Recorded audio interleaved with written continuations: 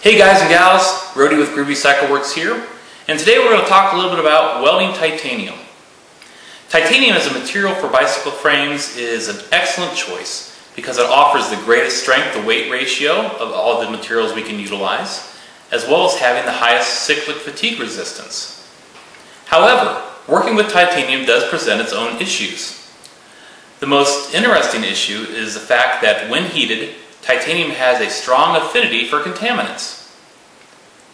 When the weld pool is hot, it likes to draw in oxygen, nitrogen, hydrogen, and carbon into the weldment.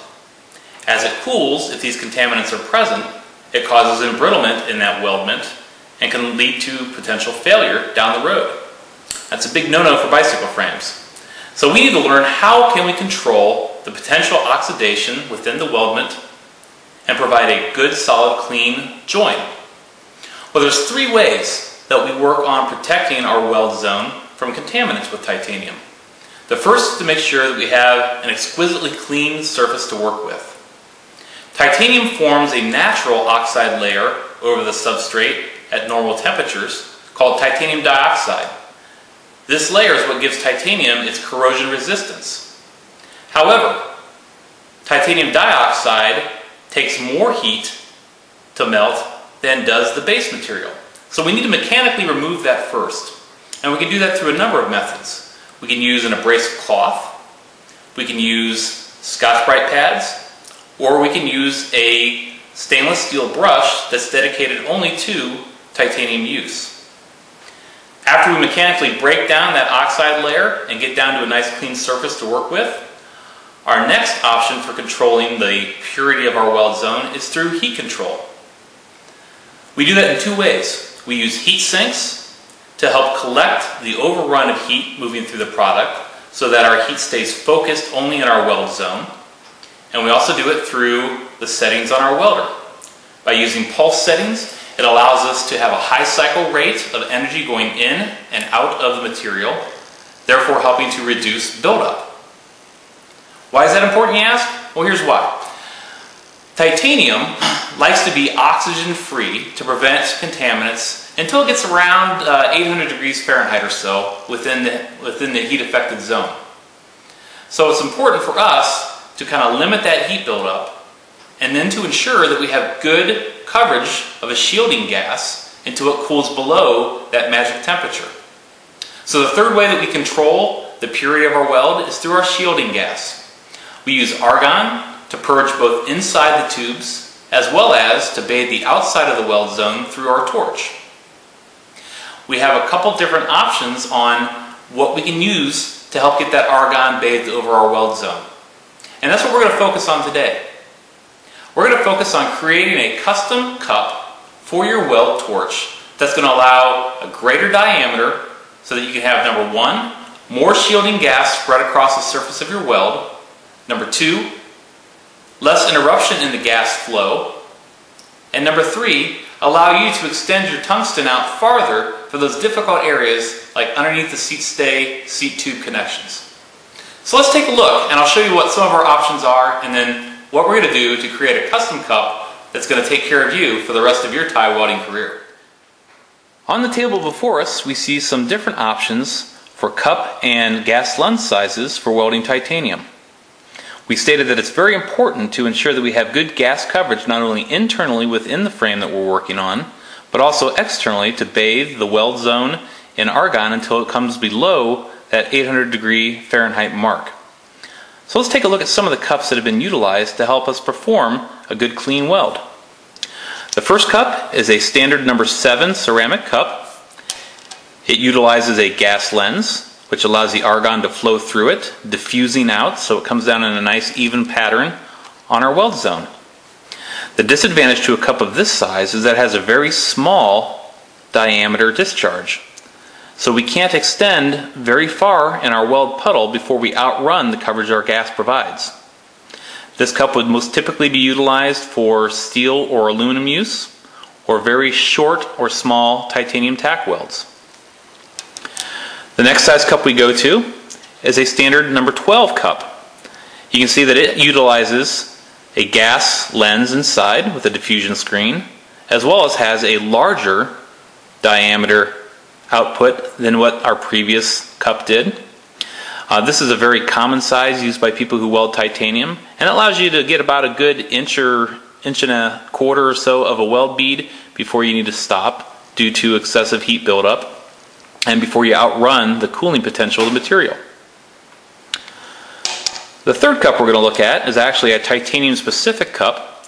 This is a champagne cup made by Weldtech. You can see that it has the largest diameter of all the cups thus far. It uses a dual screen as well as a gas lens internally to help spread out that argon in a nice even flow. The disadvantage of this particular cup, however, is you can see that there's a very short distance between the screen and the edge of the ceramic. So it makes this cup a little more subjective to uh, wind movement and or swirling of the argon layer before it reaches the level of our substrate that we're welding on. What we're going to teach you to make today, however, is a special cup that's custom made of standard parts. This is our custom cup that we're going to teach you how to make today. It uses a standard number 12 ceramic cup with a gas lens diffusion screen. But as you can see, we've modified it so that the gas lens now occupies the smaller diameter of the top, which was our previous output hole, and now uses the larger diameter of the cup for our discharge. The important thing about this orientation is that it allows us a much greater depth to our argon before it exits the cup. So it solves some of the issue that the champagne cup has with an erratic or cyclic flow of gas before it reaches the base metal that we're working on. This design allows us to have a nice volume of argon build up. It's protected well within the cup and allows us, number two, to extend our electrode out much, much farther due to this design so that we can have contaminant free welds in very tight notch areas uh, such as the seat stay to seat tube or in tight between the down tube and the head tube. Let's take a look at some of the materials that are utilized to create this cup.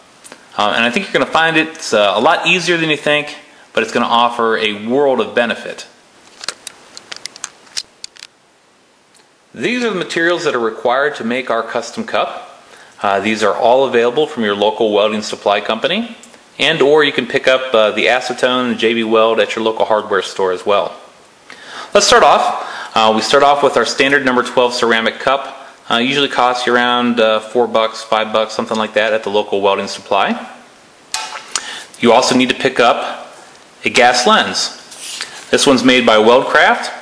It is the 45V64S gas lens with a stubby connection.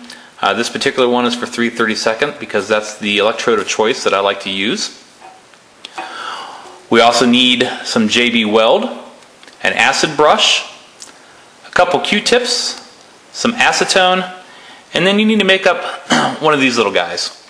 Uh, what this is, is a custom uh, fitment that I made that allows us to pull up and fixture the gas lens tight inside the cup while we wait for it to cure. Uh, you can see that it's just a standard piece of 6061 aluminum. I've drilled and tapped it for a 5 16th 24 TPI thread, uh, which is consistent with the interior of my Weldcraft torch. I've also designed it so that it sits down inside of our ceramic cup, but still leaves room for the stubby connection to come up without having an interference fit uh, with, the, with the glue once we get to that point. So our first step is actually to take our gas lens, go over to the lathe, and we're going to turn the threads down off of our gas lens to reduce its OD, and then chamfer the edge so it has a nice rounded position so that it will fit easily inside of our cup and nice and tight to the dome shape of the smaller end. Once we have that put together, we go ahead and take some JB Weld.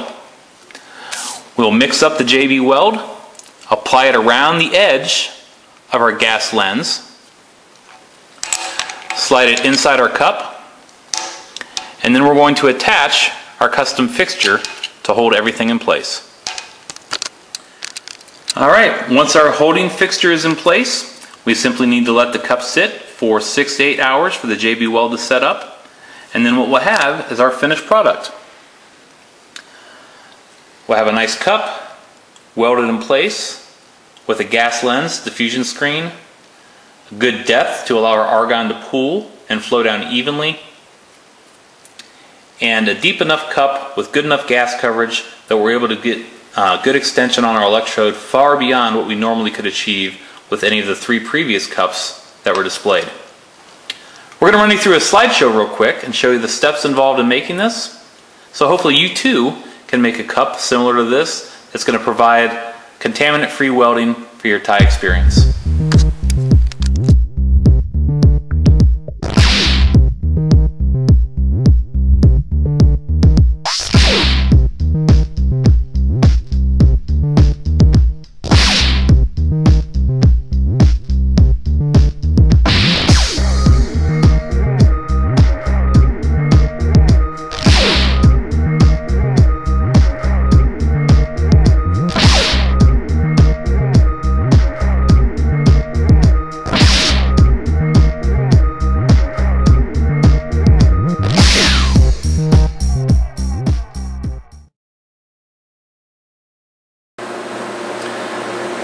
Let's just give you an example here of how far you can extend this tungsten without having contamination.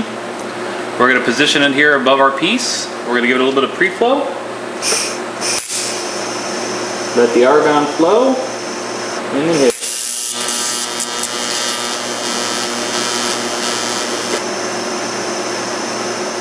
And as you can see, even with the tungsten extended almost an inch and a half, very little discoloration on this rounded piece of TI. So there you have it folks. An easy way to make a custom cup for titanium welding that provides good extension of your electrode, excellent gas coverage, and will provide you with a crystal clean, strong titanium weldment. Until next time, have a good time building frames.